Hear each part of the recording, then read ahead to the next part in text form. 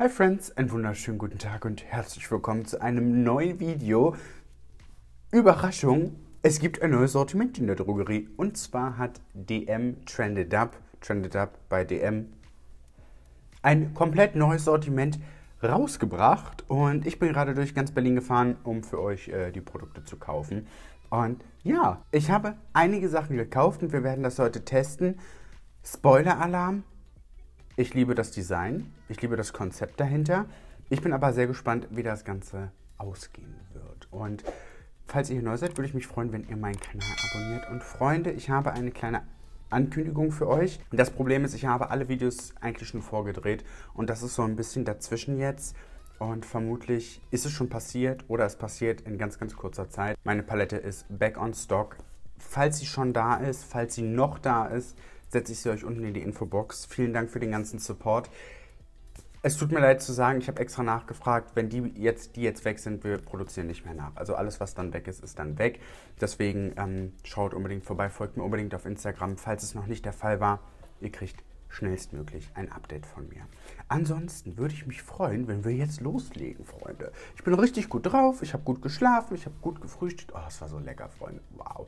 Und wir probieren einfach mal ein bisschen was aus. Ich hatte ein kleines Problem beim Einkaufen, weil die komplette Theke hat ein neues Design gehabt und es war mir nicht eindeutig zu erkennen, was ist neu, was ist alt. Deswegen habe ich einfach die spannendsten und äh, schönsten Produkte mitgenommen und wir fangen auch gleich an mit dem ersten Produkt. Das ist der Rosy Touch Face Perfector. Das ist ein zarter, langanhaltender Primer, mattiert den Teint und kaschiert optische Poren und Hautunebenheiten lässt den Teint frisch und ebenmäßig erstrahlen. Für ein seitiges Hautgefühl und perfektioniertes Finish. Kann alleine oder vor dem Make-up getragen werden. Das erinnert mich so ein bisschen an diesen Toucher Silk Canvas Primer. Ich bin tatsächlich so ein bisschen gespannt, wie das Ganze heute ausgeht, denn ähm, falls ihr euch erinnert, mein letztes Video über Produkte von Trended Up bzw. Trended Up Sensitive war ja nun gut möchte ich nicht drüber sprechen. Ich möchte nicht noch mehr Salz in die Wunde streuen, aber es war halt einfach gar nichts für mich. Das ist aber eine ganz spannende Sache. Ich weiß, Stranded Up ist total beliebt und wird, finde ich, nicht so sehr behandelt. Es riecht nach nichts und oha. Das ist im Prinzip dieser Silk Canvas Primer. Das fühlt sich. Also, wenn man hier reingeht, ist es cremig und sobald man das auf die Haut gibt, fühlt sich das an, als wäre nichts mehr da. Das mattiert tatsächlich direkt und ich habe auch das Gefühl, dass es so ein bisschen hier ausgeblurrt hat. So meine Rötungen und so wird es natürlich nicht kraschieren, aber ich trage mir das auch wirklich nur hier in der T-Zone auf. Ich mag die solche Dinger ganz gerne eigentlich, weil das ist nicht so ganz verstopfend wie beispielsweise der Benefit Professional oder Nix hat ja auch so einen, sondern das ist eher so ein bisschen zart. Also es gefällt mir auf den ersten Eindruck sehr gut. Okay. Ich hatte ehrlich gesagt ein bisschen Hoffnung, dass bei Foundation und Concealer endlich mal ein Stückchen mehr äh, in Inklusivität gegangen ist. Und ich weiß, es nervt viele, aber meine Aufgabe ist es, so lange darauf rumzuhacken, bis es endlich mehr als vier Farben gibt, die alle gleich aussehen. Die sind alle sehr hell. Und ich habe jetzt hier die dunkelste, das ist die 030 gewesen, die es bei mir in der Theke gab. Das ist ein Rosy Touch Make-up, ein langanhaltendes Make-up mit variabler Deckkraft für einen strahlenden Tarn mit Glow-Effekt.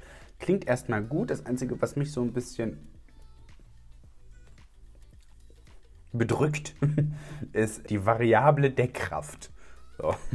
So nach dem Motto, auch heute möchte ich mal ein bisschen mehr äh, Deckkraft haben, heute nicht. Hm.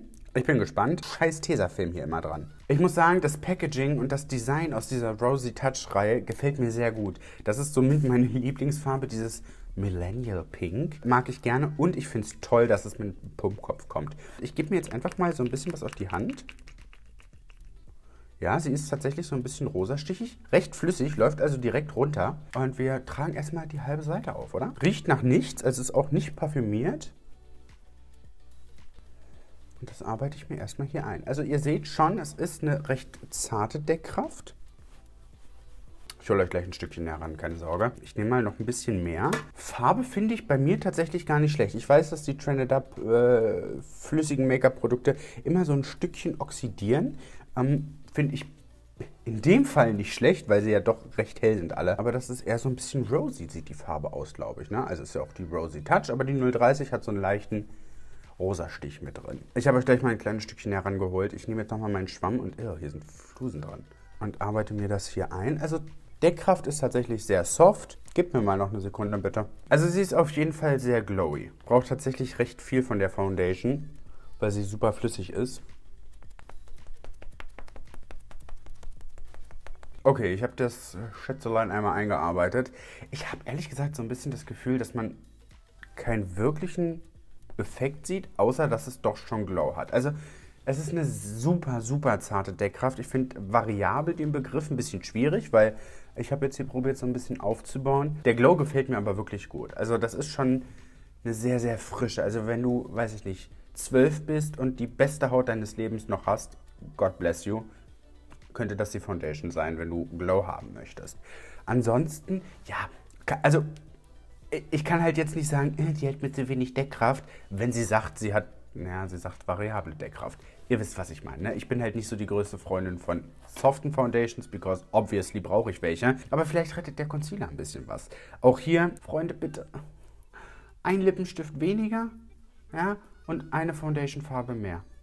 Wenigstens eine. Nur fürs Gefühl. Auch der Concealer ist aus dieser Rosy Touch-Reihe. Packaging Iconic, ich lieb's. Zarter, langanhaltender Concealer mit pflegendem Kollagen. Oh, I stand. Für einen strahlenden, perfekten Teint mit Glow-Effekt kaschiert Hautunebenheiten und Rötungen, verleiht der Haut ein natürliches, frisches Aussehen. Wir probieren es aus. Auch hier, es hat ein Applikatorfüßchen. Was mal ganz spannend ist, das ist nicht dieses ganz günstige Lipgloss-Füßchen, sondern das ist so ein bisschen angeschrägt. Und man kann hier... Ach nee, ne, das ist ja deckweiß. Das ist 020. Es ist ja auch schön, dass helle Häute bedient werden, aber das ist ja wirklich super hell. Hält doch gut auf. Ja doch, es hält auf. Es hält auf, da kann ich nichts sagen. Ich gebe aber doch noch mal ein bisschen mehr hin und äh, wir lassen den kurz antrocknen. Hat eine, ja, ich würde sagen, das ist so die Deckkraft, die ich gerne bei der Foundation gehabt hätte, hm, als variable Deckkraft, weil Concealer kann man immer irgendwie so ein bisschen besser aufbauen, finde ich. Die Foundation ist halt super, super natural. Ne? Ich finde, tut mir so leid. Ich finde, dass bei diesen super, super soften Natural Foundations immer der Effekt ist halt zu wenig, weil durch diesen Glow sieht das Ganze, finde ich, so ein bisschen unruhiger aus. Aber, Freunde, lasst euch gesagt sein, Pro-Tipp, wenn ihr Full Coverage haben wollt, geht erst mit so einer Foundation runter. Das probieren wir nämlich jetzt aus, weil ich weiß, dass alles, was ich jetzt danach benutze, mich nicht zufriedenstellen wird. Deswegen nehme ich das jetzt als Primer, weil so sieht meine Haut schon gut aus und ich brauche weniger Foundation. Guess what? Ich glaube nicht. Aber wir probieren es. Ich nehme dazu im passenden Farbdesign die Full Coverage Foundation des Jahrtausends. Das ist die von XX Revolution. Und jetzt habe ich halt so eine schöne neutrale Base schon und kann halt einfach mit viel, viel weniger Foundation hier rüber gehen und das Ganze sieht viel, viel natürlicher aus und hat halt diesen, diesen Glow von der Rosy Touch Make-up Foundation. Ich habe mir vorgenommen, dass ich, wenn ich Kritik äußere, auch zukünftig, wenn es geht, einen Lösungsvorschlag mit anbieten kann, weil es hilft natürlich weder euch noch mir noch der Marke, ähm, wenn ich hier sitze und sage, ist alles scheiße, weil ist eine zu leichte Deckkraft, sondern ich kann euch dann sagen, wenn ihr sagt, hey, das ist aber eine gute Idee, wenn du das einfach als Grundlage nimmst. Weil ich habe nicht das Gefühl, dass mein Gesicht jetzt super, super cakey wird. Weil ich ja weniger Foundation brauche. Alright, so gefällt mir das Ganze wesentlich besser. Und wir setten das Ganze jetzt mit einem Produkt, was wunder wunderschön ist. Das ist nämlich das Rosy Touch Finishing Puder. Das soll ein zartes, seidiges Finish ergeben und den Teint weich zeichnen. Großzügig auf das Gesicht auftragen. Okay, das hat, ich weiß nicht, ob ihr es erkennen könnt, so ein Rosen, Rosen, ein Rosenpressing mit drin und I stand. Ich lieb's. Diese, diese, das sind diese Kleinigkeiten, die, wo ich finde, dass das Make-up wieder schön und spannend macht. Ich gehe hier einmal kurz rein. Fühlt sich tatsächlich sehr, sehr zart an. Und ich nehme jetzt einfach einen Pinsel, gehe hier ein bisschen rein, lade den Pinsel gut auf. Es hat so einen leichten Glow. Und sette erstmal mein halbes Gesicht. Oh. Schaut mal. Ich weiß nicht, ob ihr es erkennen könnt. Es settet nicht so wirklich das Gesicht, sondern es gibt nur so einen leichten Pudereffekt. Deswegen probieren wir mal was anderes, weil ich glaube, dafür ist es auch gemacht. Ich nehme mal die andere Seite und sette damit wirklich mein Gesicht. Und ihr seht sofort einen Unterschied. Ne? Also es ist hier gleich richtig, richtig matt. Und gehe dann mit diesem Finishing-Puder rüber, weil das finde ich immer ganz schön mit so einem zarten Glow-Effekt. Also das ist ja wirklich mini minimal dieser Effekt hier drin. Ich glaube, ihr könnt es nicht sehen. Und damit gehe ich einfach rüber. Okay, ich muss sagen, ich sehe ein bisschen blass ums Näschen aus, aber der Effekt auf der Haut sieht wirklich, wirklich schön aus. Also es sieht so ein bisschen aus, als hätte ich nichts drauf und es ist so glowy und rosy und ich finde es gar nicht schlecht. Wie gesagt, ich kann mir vorstellen, dass man das als erstes Produkt aufträgt, so anstelle eines Primers weil das ja auch so ein bisschen Glow und Fliegen mit Kollagen ist ja auch mit drin. Finde ich ganz spannend. Ich möchte aber noch zwei weitere Produkte ausprobieren, die so ein bisschen in die Blush-Richtung gehen. Ich habe hier einmal den Rosy Touch Blush. Es gab noch eine andere Farbe davon. Ich habe mich jetzt für die 010 entschieden. Und der ist auch aus dem neuen Sortiment. Das ist die 010 aus der Super Glow Baked Blush Reihe. Ich bronze einmal ganz schnell so ein bisschen mein Gesicht, dass ich nicht ganz so krank aussehe. Und ihr seht sofort, ne? Also ich habe nicht noch mehr gesettet, sondern es sieht extrem extrem natürlich aus. Ich kann mir vorstellen, dass das eine gute Möglichkeit für super trockene Haut ist. Und ich gehe jetzt nochmal so ein bisschen in den Bronzer rein. Ich nehme jetzt hier das von Gucci. Das ist eigentlich ein Puder, aber kein Bronzer. Und damit gehe ich einfach hier so nur so leicht drüber. Und das wird nicht fleckig. Fantastisch. Auch hier ist wieder Tesafilm drauf. Und da gehe ich erstmal in... Ich mische einfach gleich beide Farben. Finde ich ganz schön, dass so zwei verschiedene Farben drin sind. Klopfe ein bisschen ab und setze mir das hier gleich mit hin. Und okay, she's Pigmented AF. Huh. Ja, besser. Ähm, extrem pigmentiert. Schön. Super, super schöne Farbe. Und auch das liegt sehr, sehr gut auf dem Bronzer, auf der Foundation.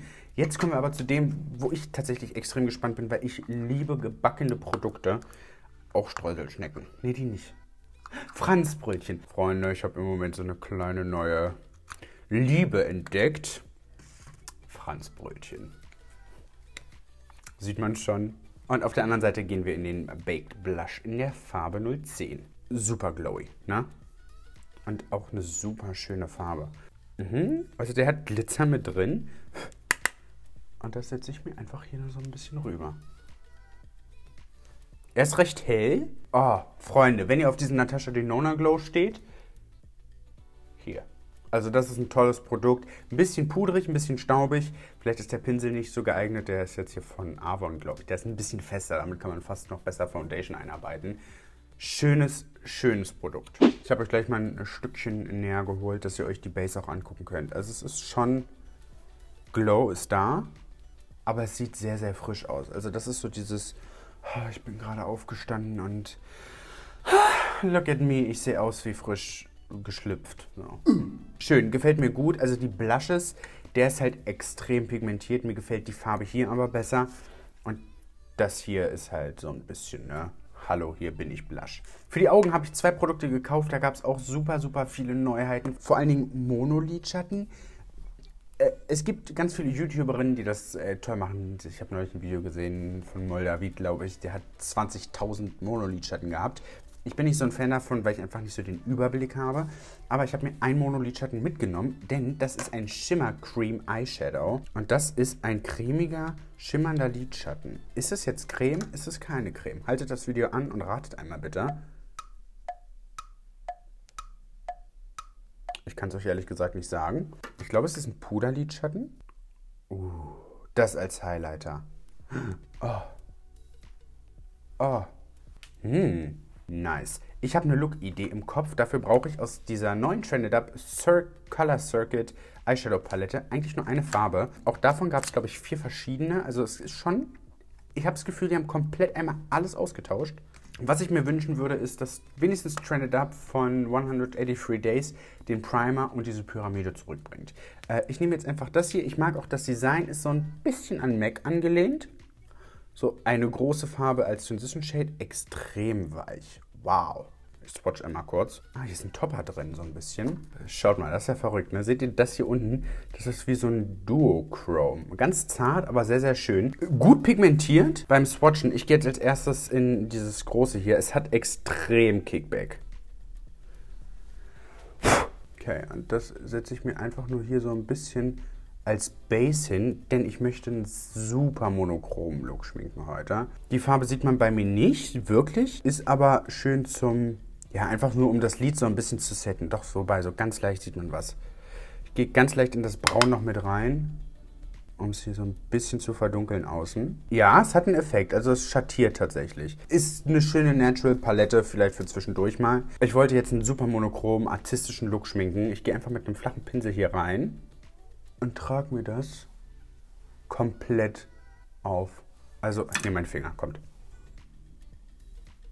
Schon schön, ne? Das sieht aus, als hättet ihr viel Wasser auf euer Lid. Das ist wirklich so, ich will nur ein bisschen was auf den Augen haben, so ein bisschen Glow. Uh. Also das ist so ein richtig Editorial-Ding. Schöne Farbe. Also das ist eine Farbe, die kann ich mir wirklich gut vorstellen, die nur diese Farbe aufs Lid. Eyeliner würde ich jetzt machen, kann ich nicht. Lashes oder einfach so ein bisschen Mascara Wow. Ich habe zwei Lippenstifte gekauft und die schreien Maxim Giacomo. Das ist das nudigste Nude, was es gibt. Ich habe hier die Pure Nude Lipglosser. Die sollen hochglänzend, pflegend und mit Jojobaöl sein. Ich habe hier einmal die äh, 030 und die 010. Die 010 ist so ein richtiges Nude. Auch hier ist wieder Tesa drum, bis zum Umfallen. Also es ist halt nicht nur einmal verklebt, sondern komplett einmal rum. Wir tragen uns jetzt erstmal hier die 030 auf. Füßchen ist iconic. Das ist 1 zu 1. Wir wollen den Namen nicht mehr sagen, aber das ist 1 zu 1 das Füßchen vom Jeffree Star Concealer als Stan. Mm. Okay, wow. Schaut euch das mal an. Maxim Giacomo X Trended Up 2021 mit Lippenstiften. Es riecht super, super gut. Ich gebe es jetzt nochmal die hellere Farbe oben rauf. Oh, Kim Kardashian ist am Boden. Wow. Okay, ich habe mal probiert, einen Eyeliner zu ziehen. Ähm, naja, möchte ich nicht drüber sprechen. Also Freunde, Fazit der Aktion. Lippen mega, Blush mega, Lipcream toll. Also diese, äh, diese Glow-Ding hier. Wo ist eigentlich meine Kappe? Ich muss sagen, das Ganze ist eine coole Sache. Also, ich weiß nicht, ob der Eyeliner es jetzt besser gemacht hat oder nicht. Ich finde, ich sehe so ein bisschen... Ja, ich habe probiert, Fox Eyes zu machen, Freunde. Hat nicht geklappt. Also, Base ist schön, super glowy. Falls ihr es probieren wollt... Falls ihr diese Foundation probieren wollt, äh, ist das vielleicht eine gute Sache, wenn ihr das unter eurer Foundation gebt, wenn ihr so ein bisschen mehr Deckkraft haben wollt. Ansonsten liebe ich diesen Monolidschatten, der ist fantastisch. Auch dieses Rosy Touch Puder. Ich probiere es nachher nochmal so ein bisschen mit Full Coverage und das dann einfach drüber gedustet. Lippen sind schön, ich fühle mich gut, ich fühle mich frisch. Es war alles super günstig. Die Lidschattenpalette brauche ich ehrlich gesagt nicht. Ähm, ich wollte es euch einfach mal mitgezeigt haben. Ansonsten könnt ihr da gerne mal vorbeischauen. Keine Katastrophe, wirklich schöne, gut durchdachte Produkte. Und ich weiß, dass es für viele von euch auch definitiv funktionieren wird. Ich bedanke mich, dass ihr heute mit dabei gewesen seid. Ich hoffe, es geht euch gut. Ich hoffe, ihr hattet ein bisschen Spaß. Freunde, denkt an meine Palette. Ich weiß nicht, ob sie schon da war oder noch da war. Schaut unbedingt bei Instagram vorbei. Ich danke euch. Bis zum nächsten Mal.